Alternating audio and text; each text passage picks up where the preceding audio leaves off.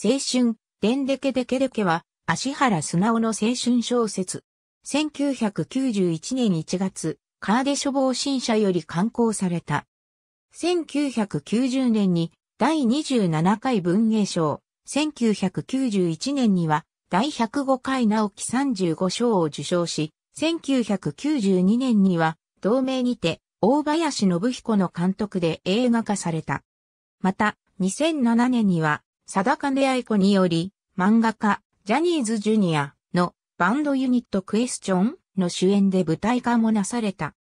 1960年代の四国、観音寺市が舞台で、ベンチャーズの影響を受けた少年が、高校入学後、ロックバンドを結成し、ロックに明け暮れるメンバー4人の高校生活を描いている。題は、ベンチャーズの曲でおなじみのトレモログリッサンド奏法のオノマトペから。時は1965年3月、香川県観音寺市に住む高校進学を控えた少年、藤原武良は、ラジオから流れてきたベンチャーズのパイプラインのデンデケデケデケというイントロに電気的掲示を受け、ロックミュージックに憧れる。高校に進学した竹良は魚屋育ちの白井誠一、寺の跡取りの合田藤夫、練り物屋の息子の犯した匠といった一癖ある仲間を誘ってロックバンドを結成する。しかし彼らには楽器がなく、夏休みのアルバイトでお金を稼いで楽器を手に入れ、いざ練習となると、場所の確保に一苦労といった苦難を乗り越え、ようやくバンド、ロッキングホースメンの活動がスタートする。イヤ系での夏休みの合宿、岡下の初恋話、バンドの技術顧問となる C さんとの出会い、親しい先生との死別などを経験しながらバンドは、街のスナック、ウエストビレッジの開店イベントでデビューを果たす。そして3年生の文化祭のコンサートを成功させた。文化祭の後、メンバーはそれぞれの進路に向かって準備を始め、バンドの活動は低調なものとなる。竹良は東京の大学を進路に定めたものの、バンドがなくなることへの不安や、他のメンバーがそれを気にしていないことへの岩に、寂しさを募らせる。受験のための状況を翌朝に控え、逃げ出したくなった竹良は家族にも告げずに朝からバンドゆかりの地を一人で巡った。観音寺に戻ってきた竹良をバンドのメンバーが出迎える。彼らは竹良に終身バンドリーダーの称号を送った。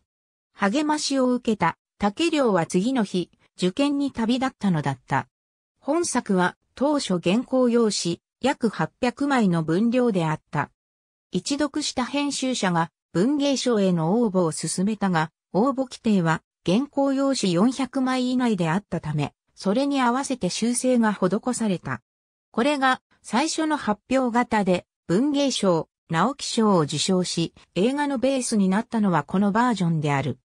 一方、1995年になって最初のバージョンも出版されることになり、タイトルに鹿版をつけて作品者から刊行され後に角川書店で文庫化された。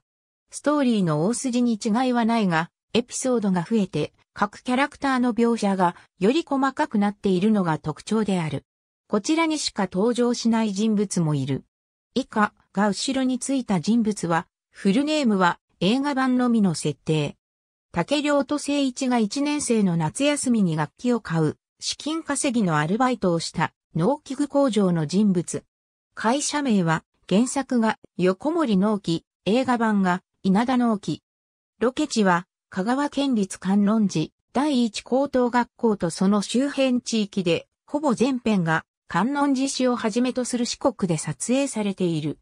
原作の文章を活かしたナレーション、言葉遊びの映像化、テンポの速い場面転換などの演出技法が特徴である。ロックをはじめとする当時の音楽も多数作中で使用されている。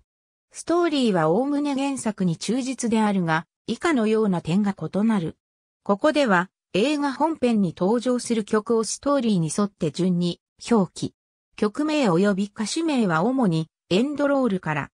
実際の歌手本人たちによる音源が使用されているものには、ここでは曲名に続けてで表記。以下の曲は、どのシーンで使用されているかは不明。ポプラ社の各月間漫画雑誌、ピアニッシモで2007年7月号より連載が開始された。作者は貞金愛子。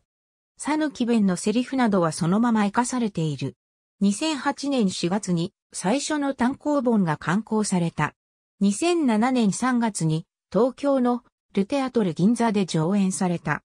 主演はクエスチョンで、主人公の竹良役は米村大茂郎が務めた。他に、寺島咲、田島玲子らが出演。ありがとうございます。